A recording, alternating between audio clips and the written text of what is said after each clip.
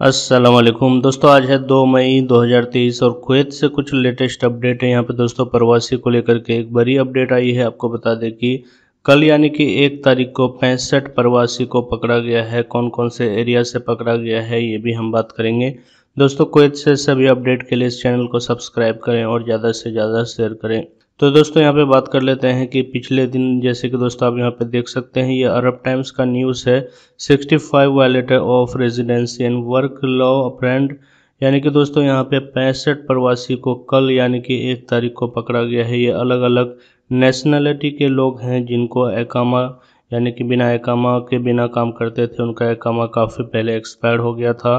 यहाँ पे दोस्तों, सबसे पहले बात कर लेते हैं, आपको बता दें कि the public authority of manpower की तरफ़ से बड़ा एक्शन लिया गया है। यहाँ पे 16 प्रवासी को अर्दिया एरिया के अंदर से जो अर्दिया इंडस्ट्रियल एरिया है, वहाँ पे पकड़ा गया है। वहाँ पे काम करते हुए इन सभी को पकड़ा गया है। उनके अलावा दोस्तों, यहाँ पे 15 वायलेटर और 10 फेक डोमेस्टिक वर्कर जो कि ऑफ़िस के अंदर काम करते थे, जो बिना एकामा को भी 20 नंबर वीज़ा पे रेट डालने के बाद जो मिनिस्टर ऑफ़ इंटेरियर हैं, उनके तरफ़ से ये यानी कि टोटल 25 प्रवासी को यहाँ से पकड़ा गया है।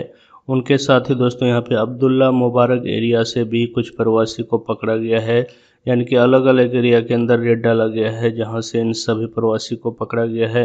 उनके अलावा दोस्तों, जलीब अलसुएक एरिया के अंदर भी रेड डाला गया है, यहाँ से भी काफ़ी प्रवासी को पकड़ा गया है। यानी कि दोस्तों, कह सकते हैं कि ईद के बाद से जो इनका कैंपियन है, मिनिस्टर ऑफ़ इंटीरियर का, वो लगातार कंटिन्यू है। ख़ासतौर से उन सभी प्रवासी के लिए, जो लोग भी कुवैत के अंदर इलीगल है और उन्हें पकड़ने और रिटर्न भेजने का काम किया जाता है। जैसे कि दोस्तों बताया गया है कि सोलह हज़ार कंपनी बंद हुआ है। उनका वर्कर इधर उधर जहाँ भी काम कर रहा है, इनका एक मिशन है कि इन सभी को पकड़ करके रिटर्न भेजना।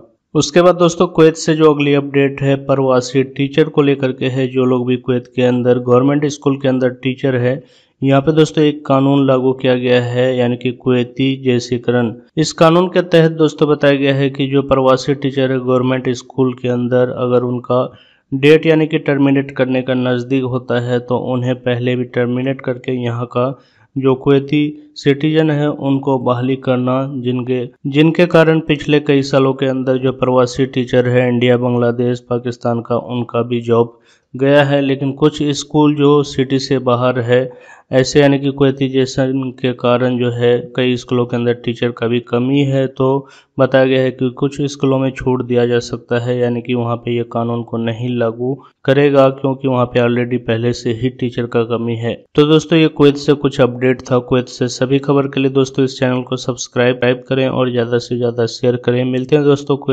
अगली अपडेट के